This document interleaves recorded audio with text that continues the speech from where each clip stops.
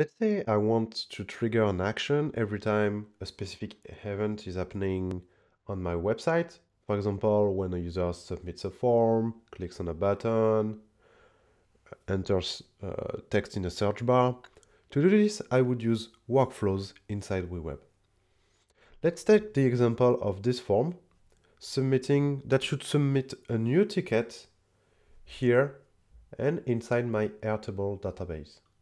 To do so, I would select the form container, go to in the sidebar to the lightning icon and click on add a workflow.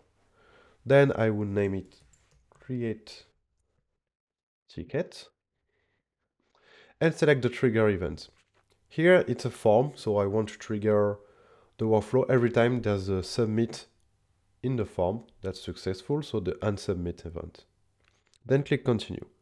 Now I have actions. I can have as many actions that I want. It's a bit like Zapier or Integromat. And actions are triggering in the order they are set every time the event is triggering. So for example, I can change a variable value, fetch a collection, change a page, or use some custom JavaScript.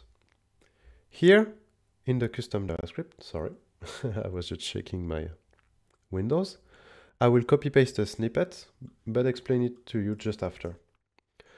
So what this snippet does, remember you can find everything in parameters, is that it will create a record inside Airtable in the tickets collection using the title, description, and user coming from the event form data title, the description form data description, so basically the title and the description of the form, and the user, the current user. Then I click continue and you see I can add other actions. But here it's okay for this workflow, so I will go to preview and then in this ticket, in the form, sorry, I can say, for example, um, Coda integration. I want to use Coda inside WeWeb. Create the ticket.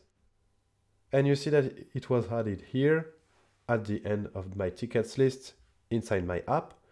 And it's also created here in my um, Airtable base using the uh, anonymous username because I'm not currently logged in.